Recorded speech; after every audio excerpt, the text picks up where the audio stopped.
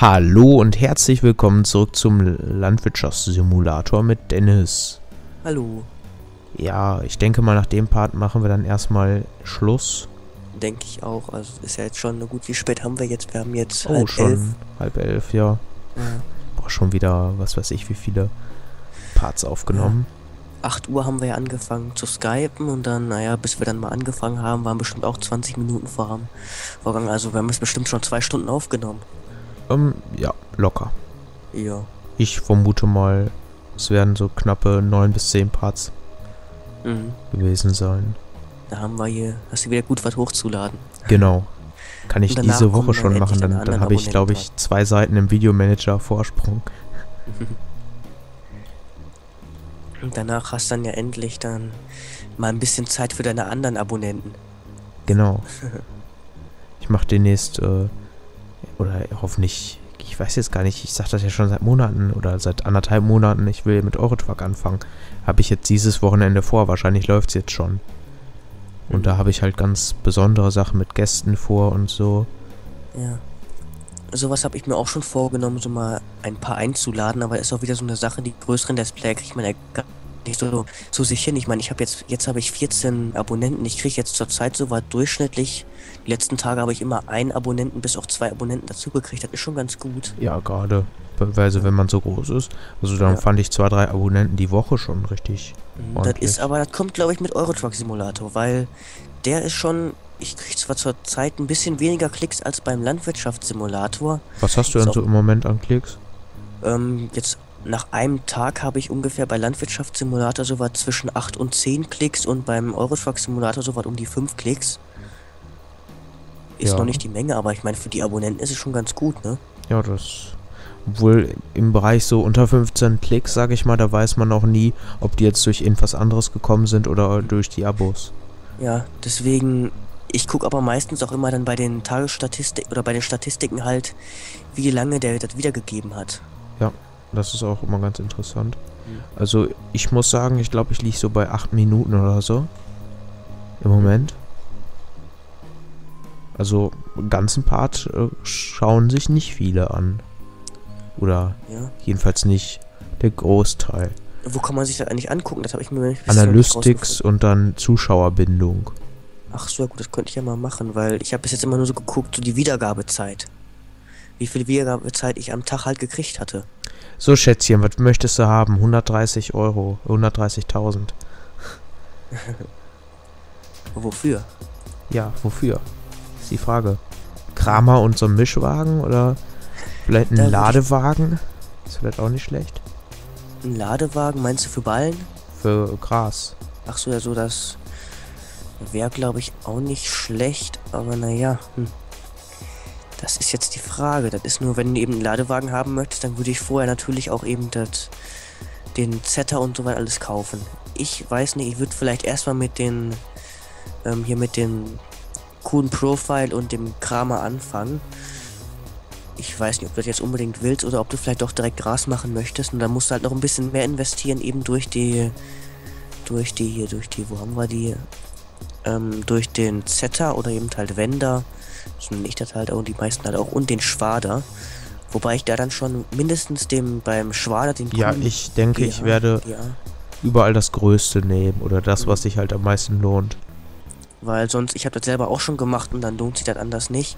Die kleinen Sachen sind mehr sowas, finde ich immer, wenn man damit gerade anfängt. Also, Mhm. wenn man noch sehr früh im Spiel ist, dann kann man sich, sag ich mal, auch den kleinsten Setter holen oder so oder Wender. Ich sag Wobei, eher ich ja Wender. sogar noch, was ich sogar noch ziemlich extrem finde, ich meine, ich weiß nicht, ob das jetzt der Pöttinger 4 Kreisel oder der Kuhn GA ist, auf jeden Fall, hier, auf jeden Fall von den Schwadern, ich glaube fast alle davon kann sogar der kleine Kramer noch ziehen. Und hier den Kuhn, den breitesten von den Zettern oder eben halt Wendern, der hat 17,2 Meter Arbeitsbreite, der Wender. Und den kriegt der kleine Kramer, glaube ich, sogar auch noch gezogen. Das ist schon ganz schön heftig. Ja, das ist echt. Also habe ich jetzt so im. Kopf. Ich habe es jetzt ehrlich gesagt seit langem nicht mehr gemacht, weil ich mache jetzt einfach, ich mache keine, ich mache auch keine Ballen mehr oder sowas. Ich mache das bei mir alles mit dem Krone Big M. Ja, das, den habe ich auch irgendwann vorzukaufen dann für die Mhm. Kühe. Und dann auch wahrscheinlich dann halt auch im großen Feld und dann für 100 Kühe oder so. So stelle ich mir das dann bald vor. Mhm. Aber ich würde auf jeden Fall, auf jeden Fall später halt, wenn du den ähm, Krone Big M hast, dann würde ich auf jeden Fall halt den größten kaufen, den größten Doppelzweckladewagen, weil der hat auch Ja, eine den möchte ich eigentlich auch direkt kaufen. Der, Ja, der hat auch eine größere Arbeitsbreite. Damit. Kann man den direkt dahinter hängen? Oder nee, das geht nicht. Weil das ist eigentlich sogar ganz logisch, weil der hat ja, weil der ist ja, der Ladewagen, der braucht ja Zapfwelle. Das ist das gelbe, der gelbe Stab, Ja. der ist eine Zapfwelle. Die braucht er halt. Und das hat der Krone Big M ja hat der nicht hinten dran, deswegen kann man den halt nicht hinten dran hängen. Ist zwar schade, aber irgendwie auch logisch, also. Ähm, was mir nur gerade so einfällt, wir haben jetzt am Feld, am Hof noch ein bisschen Felder mit, äh, auf denen Gerste und sowas anwächst. Mhm. Äh, wie sieht's denn damit aus, von wegen, ähm, wie viele Ballen haben wir jetzt? Wir haben bestimmt schon 20, 30 Stück, ne? Ja, das denke ich schon. Also wir müssten jetzt. Fährst so, du den am besten zum Hof, den äh, 60 Tonner, der bei Feld 1 stand? Ja, mache ich. Ich habe nur eben kurz den Sähelfer aktiviert, dass der hier weitermacht. Jetzt haben wir ja einen Helfer frei. Mhm. Immer direkt immer alles auslasten. Ich möchte den dann noch eben kärchern hier. Mhm. Ist der jetzt schon wieder gut dreckig? Ja, Richtig der ist versaut. richtig. Ich glaube, der, der, ich glaube, bei denen gibt es auch nur dreckig oder sauber. Mhm. Habe ich so das Gefühl. Ist ja auch ganz praktisch. Kann man häufiger. Richtig versautes Teil. Genau. ah, ich mag den irgendwie. Der fährt sich so komisch, so schwammig. Man sitzt so hoch. Mhm. Nur ich würde vielleicht, ich würde es mal, ich würde es vielleicht mal ausprobieren. Vielleicht probiert er auch mal bei mir auf dem privaten Profil aus, wie das so mit dem, ähm, mit dem Wagen da hier, diesem Schneidewerkswagen, wie das funktioniert, wie die Physik damit so ist, weil ich finde, ja, die Physik ist dabei noch ziemlich schlecht, also zumindest bei dem vom Spiel. Und vielleicht haben die das hier ja ein bisschen besser gelöst. Das wäre ja, Ja, schön. das, das wäre cool, weil das hier ist Weil- echt ein bisschen zu übertrieben. Ja, damit kommst du nicht durch die Stadt durch, das geht nicht. Ja, gerade darunter zum Feld 7. Mhm. Wenn man nicht Pascal heißt, kommt man da nicht durch. Ja, oder man, man baut sich die Map um. Habe ich schon mal probiert, dass ich mir einen Weg vom Feld aus direkt runter zum Feld 7 mache.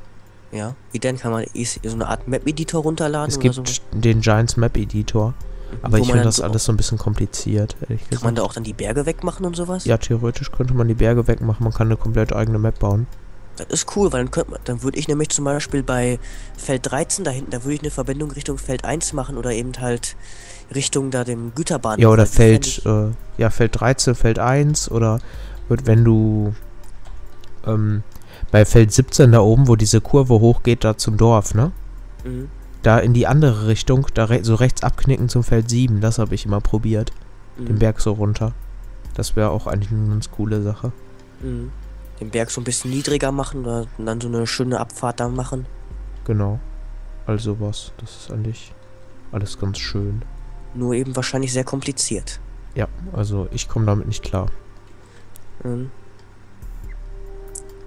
Kann ich mir gut vorstellen. Das ist ja nicht immer alles ganz einfach. Ja, vor allen Dingen, man, man ist einfach auch nicht so geübt da drin. Ich sag mal Mhm. so, wenn ich das jetzt irgendwie Erfahrung da drin hätte, dann wäre das bestimmt kein Problem. Das ist, glaube ich, Mhm. kein so schwerer Game-Editor. Man muss das dann nur einmal raus haben und dann, dann klappt es. Dann. Ja, das ist jetzt ja auch nicht irgendwie die übelste Crisis-Engine oder so. Mhm.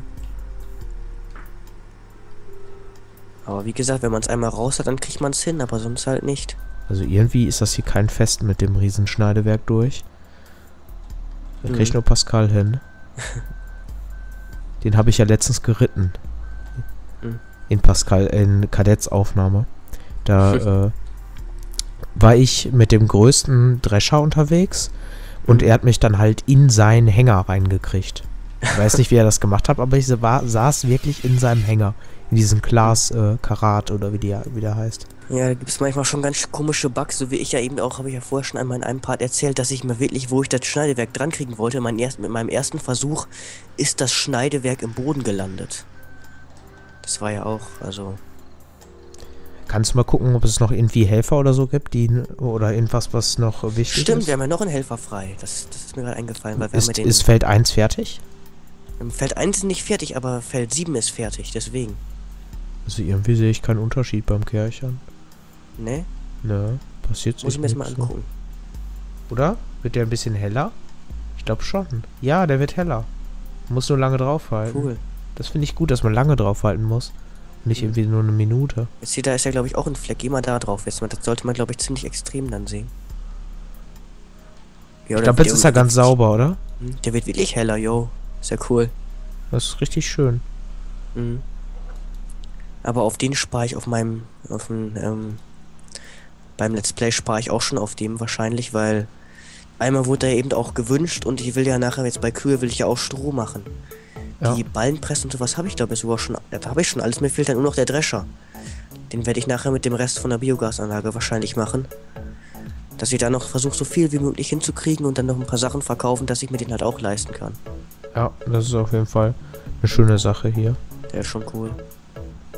Ja, ich glaube, hier von der Seite ist er sauber. Also, das wäre doch mal, weil man hier das, das Fass hier sauber machen könnte. Das ist ja auch Ja, das habe ich vorhin schon mal probiert. Das geht nicht. Ich Gucken, ob die andere Seite auch schon sauber ist. Ja, die sind dann beide gleichzeitig sauber. Hm. Ähm, ich glaube, der kann erstmal, der kann hier vorne schon anfangen bei den Feldern. Stimmt, die sind ja auch schon fertig. Dann muss ich mal gucken, ähm, Ballenpresse. Okay. Und dann fahre ich mal kurz hier den Ballenhänger wieder zurück. Dann muss ich nur gucken, wo soll ich mit den ganzen Ballen hin. Ähm, Hm. äh, welche Ballen? Von Die welchen ganzen Feldern? Strohballen, die wir dadurch nachher kriegen. Ähm, ja, die kommen dann auch da hinten hin, würde ich sagen. Hm. Was ich wohl sonst cool fände, wäre, wenn es hier so was ähnliches gäbe, so wie halt dieses Silo. Halt nur, na gut, wenn man das Silo jetzt zum Beispiel nicht bräuchte oder sowas, dann könnte man da die ganzen Ballen reinpacken, weil dann kannst du Seiten kannst nicht wegfallen und man kann richtig schön hoch stapeln. Das wäre cool.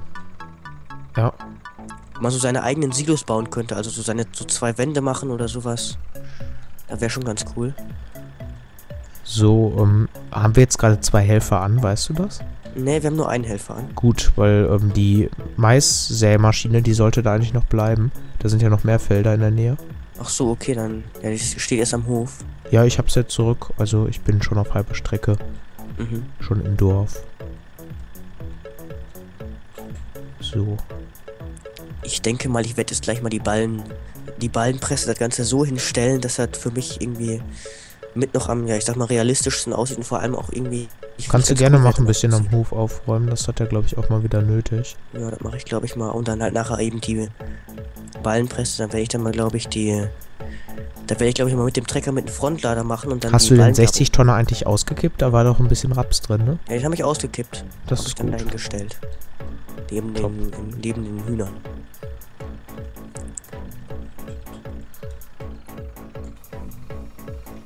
Wie viel Helfer hat man eigentlich im normalen Spiel? Das sind bestimmt entweder unbegrenzt oder 4, 5. Äh, ich glaube unbegrenzt. Also, ich meine, da sind schon ein paar, weil ich kann nämlich wirklich auf, habe ich schon mal gemacht, also mehr als fünf sind auf jeden Fall, weil ich habe nämlich schon mehr als fünf Helfer am Laufen gehabt. Ja, das denke ich mir auch so. Mhm, weil ich so. habe nämlich, wie gesagt, auf meinem privaten Profil dann ähm, drei Kartoffelernter, dann mindestens drei, die grubbert, gegrubbert haben und auch mindestens drei, die gesät haben. Da bist schon bei neun, also. Ja, also dann. Jetzt, wo ich gerade hier auch den Rübenernter von dir sehe, wieder stehen sehe, da, bin ich gerade am, bin ich da gerade am denken, der steht ja hier in so einer in der großen Halle, ne? Also in dem großen Unterstand. Ja.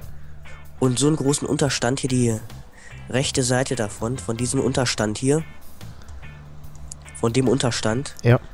wo ich hier bin, Ich da habe ich mir die Ernte reingestellt. Und Ja. da ist wirklich bis auf den letzten Zentimeter bis zum Paul ist hier komplett voll mit drei Erntern. Das sieht so heftig aus, wenn man davor steht, man, da steht man vor direkt, drei, direkt vor drei Erntern. Ja. Hier so vorne heftig ist das. Gras, was wir mal gepflanzt haben, ne? Das, da muss man eigentlich mal drüber grubbern. Haben wir eigentlich beim letzten Mal schon gemacht, aber hat der vielleicht irgendwie nicht so richtig behalten. Okay. Mache ich vielleicht dann mal auf Scream. Ja. Oder vielleicht in der nächsten Aufnahme. Mhm. Ich wollte noch einmal hier den ähm, einen Deutz zum Feld 7 fahren. Mhm, Du musst jetzt hier da weiter säen. Ach, weiter säen, weiter ähm, abernten. Ja, da geht's auf Feld 7 dann weiter. Demnächst mit Mais. Mhm. Auch für die BGA jetzt dann. vielleicht hier den, den Drescher, den kannst du ja eben hier zu Feld 14 rüberfahren, da kann er weitermachen. Ja. Das würde ich jetzt mal so sagen. Und ist ja hier eine Leerfahrt, wenn er hier die ganze Zeit nur rumsteht. Ich überlege gerade, in der nächsten Aufnahme werde ich dann wahrscheinlich auch wieder mit zwei Leuten aufnehmen und dann mit jemandem, der halt, dann ne, fahren wir gleichzeitig den äh, Mais ab, weil dann die ersten Hänger sollen ja dann erstmal rübergehen zum, ähm, Kuhweide. Zum Kuhweide, genau. Da äh, gingen fünf Hänger rein, 560 Tonner, ne? 300 ähm, Tonnen sind das dann. Ja, da passen 300 Tonnen rein. Okay. Und dann Mais, äh, Gras wahrscheinlich genauso viel, ne? Ähm, Gras ist kein richtiges Silo da. Da hast du einfach nur den, ähm, da hast du die, hier, der, wie heißt das Ding? Ähm, genau, den, den Futtertrog. Wo man nachher auch die Silage reintut. Also man muss nachher erst die Silage ganz normal in Silo tun. Den Mais. Und danach halt dann die, ähm, danach wird die Silage halt auch über so einen Futtermischwagen, weil das ist nur so ein kleiner Bug, der funktioniert nicht anders, wird dann halt die Silage dann da reinge, ähm, wird halt die Silage, ähm, halt auch in den Futterdruck reingekippt über den Futtermischwagen da. Ja. Okay, ich würde auch sagen, eigentlich so wirklich was zu tun haben wir gerade nicht mehr. Ja, wie gesagt, wir könnten wohl den. Eigentlich kann der Drescher, der kann wohl weitermachen. Ja, aber ähm, der Part hat auch schon wieder eine deutliche Überlänge. Mhm. Und ich wollte jetzt eigentlich, glaube ich, aufhören. Dann sollten wir den auch beenden. Ich fahre dann noch eben kurz zum Feld rüber, dann ist er schon mal da bereit. Sonst vergessen wir, sonst vergisst er das nachher beim nächsten Part noch, ne? Genau, ich jogge dir mal hinterher. du bist ja sportlich. Mit Taschenlampe. Mhm. Da frage ich mich sowieso, da muss ich mir jetzt mal angucken, wie das aussieht mit Taschenlampe. Ich habe jetzt weil Licht an gerade. Weil das hat mich nämlich schon mal. Mach du mal Licht an. Jetzt habe ich Licht an. Sehe ich nicht. Ja, weil ich dachte schon, der muss ja irgendwie eine Taschenlampe oder so weiter. Ja, Handscheinwerfer. Ja. Fernlicht. Ja, ich würde sagen, das war's dann für diesen Part und erstmal von der Aufnahme mit Dennis. Tschüss. Jo. Tschüss.